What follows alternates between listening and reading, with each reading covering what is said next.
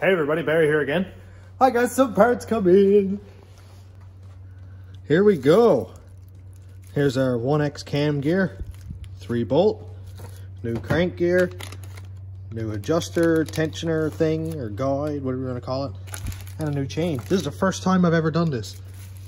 So this is the only piece that I actually needed, but it all came in a kit. So, here we go. That is really, really exciting. Nice piece too. So, this is a Cloyes piece. I got it through CarQuest here in Lewisporte.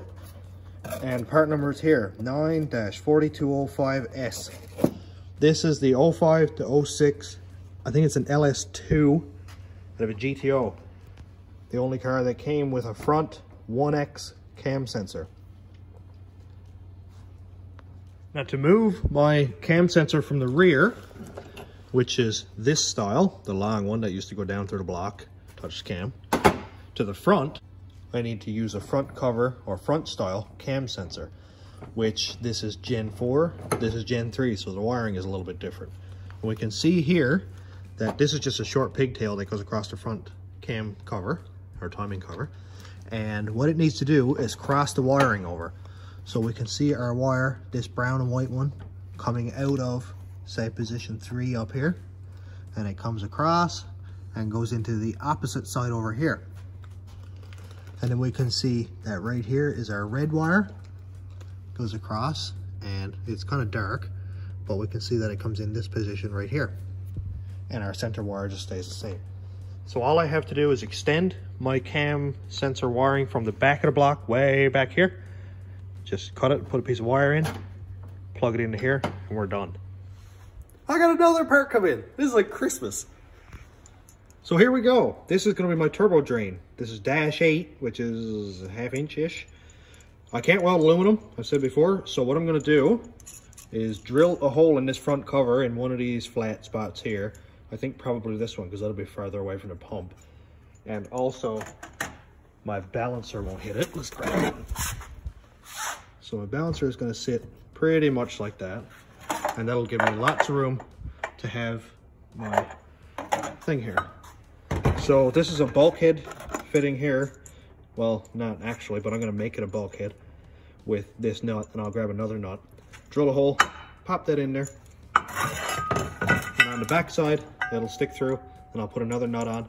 And all it's going to do is just drain oil from the bottom of the turbo via this hose barb here. I'll just clamp a hose onto this and we're good to go. I've always drained it into my valve cover. I've always drained it into the valve cover here because the turbo on the rat rod was like way up here. It was a, it was, well, it was this much higher than the valve cover. So I had no issue draining it because the hood on the rat rod is like a foot or a foot and a half higher than the engine. But of course, we're in a van now. So we're gonna drain it into the timing cover. This is proven, it's been done, no issues at all. And it will drain right from this point directly into the front of the oil pan. I am gonna wait till I have the engine assembled before I go ahead and do this because I wanna make sure that my balancer is on, make sure I'm not gonna hit my oil pump or anything like that. And just make sure I have room. And 90 is gonna be sweet because it'll go pretty much parallel with the cover and I'll be able to clock it whichever way I want like this to get away from the water pump and away from uh, whatever over here like my coolant outlet and stuff like that. Got some parts laid out. Time to put some purple paint on this stuff.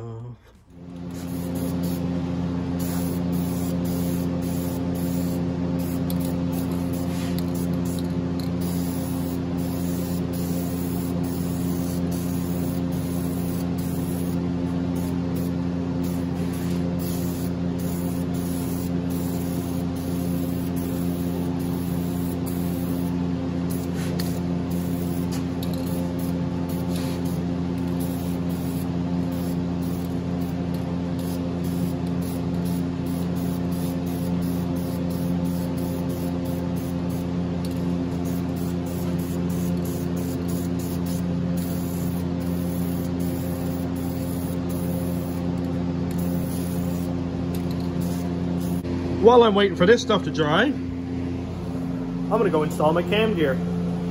We can see here with our kit, we got a new crank gear. So let's go ahead and change this one out and put in our new one. It's way shinier.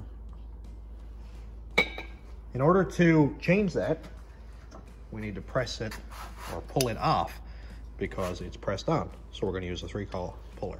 Just because there's a big hole in the end of the crank snout here, and I don't wanna have to run the puller right on in through, I'm gonna put just a bolt with a little plate on the end of it so we get a nice flat even pressing surface so we're not going to damage anything in here.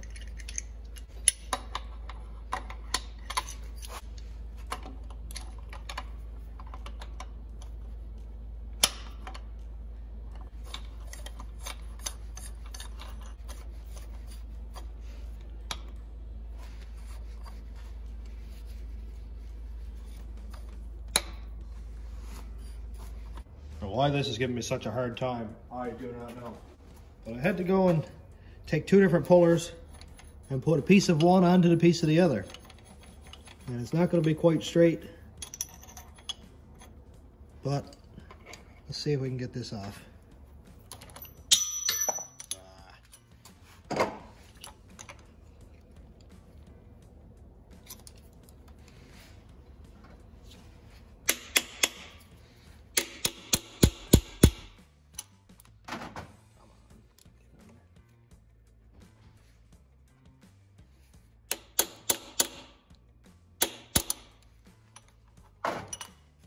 Well, I couldn't really get it off, so I came up with half an idea that seems to be working. I'm just going to hook the two of these in here and pry them apart enough to get it out far enough to get the pullers behind. It's not pressed on by very much, actually. It seems to have worked so far. Woo! Hey, here we go.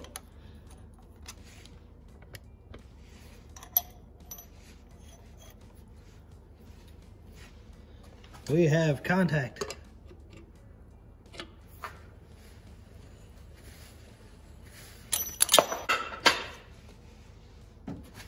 For what should have been a five minute job, just turned into a 20 minute ordeal. That's nonsense.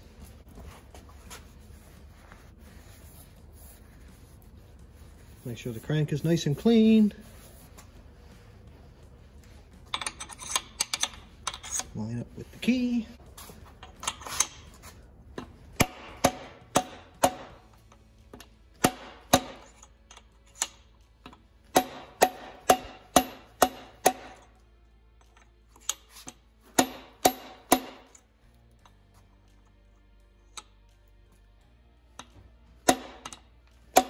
There we are, bottomed out. There's probably a way more correct way than smacking it on with the old one, but yeah, worked. We can see right here that I have the crank at number one top dead center. So that's a good start. Anytime I build an engine, I always like to default and set it up to top dead center. Open up our new chain. Look how pretty that is. Now we can align our cam with the crank. And you can see this dot right here. That will align perfectly with the dot that you can see right here. See if we can zoom in some. Here we go. So we need to line up our dot to dot like this.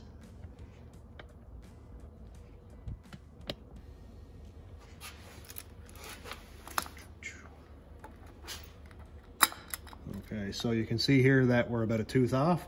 So we'll just pull it off, rotate our cam a little bit. And now we can see that we're lined up. Just take it off and line up our cam with our dowel.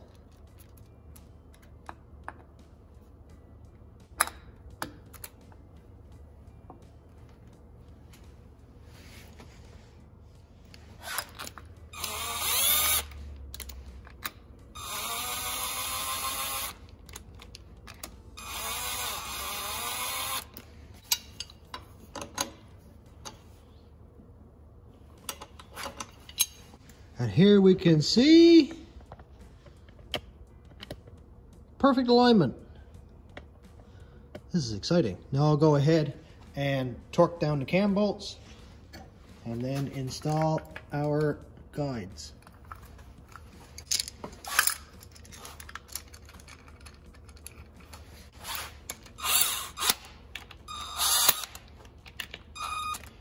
I like using this impact because it makes things faster, but I never go down until it impacts or, or ugga because I don't want to damage anything. So just make sure it's seated and then we can go in with the ratchet or torque wrench.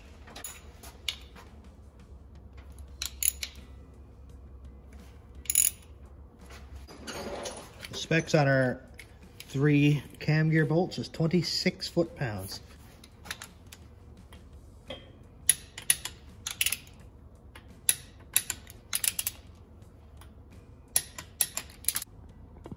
Man, that looks really nice. Getting excited. This is soon going to be ready to fire up. All I got to do is finish painting the heads, bolt them on, push rods, rockers, throw an oil pan on it just so I can get it fired up.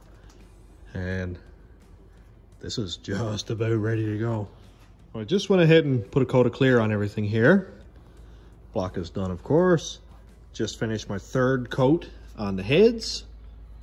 You can see that it's still wet. And I got to show you this. This is kind of a trick that Craig showed me, my boss here. He said, stick all your bolts down into a box, leave them up a little bit, and just spray them. That'll stop paint from getting on the tread, and you can still turn it around, and everything will be accessible, easy to paint. And then when you're done, just pull them out. So I painted these yesterday. They're all black. They're all good to go. It's going to look really cool contrasted against purple. Everything's all clear coated.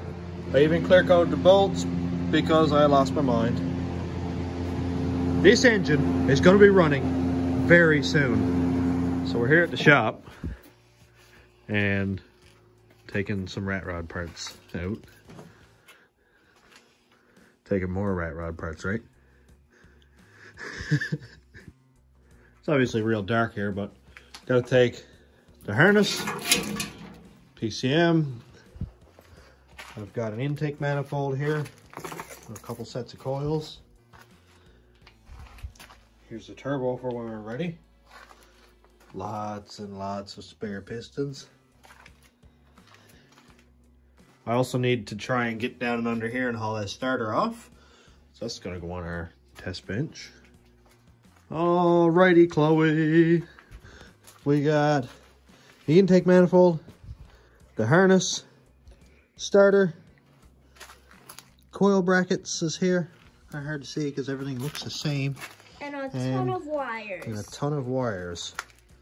So hopefully tomorrow we're going to have the van engine fired up. Yay! And here's what's left. Just the skeletal remains of a ridiculous piece of machinery. So I got all the parts brought up to the shop. I'm gonna go ahead and end the video here. And then in the next video, I am gonna assemble the engine. Get ready to bolt the heads on, get the intake all bolted on, wiring done. That's another full video just getting it ready. So hopefully the next one, it'll be running. Thanks for watching everybody. Have a good day.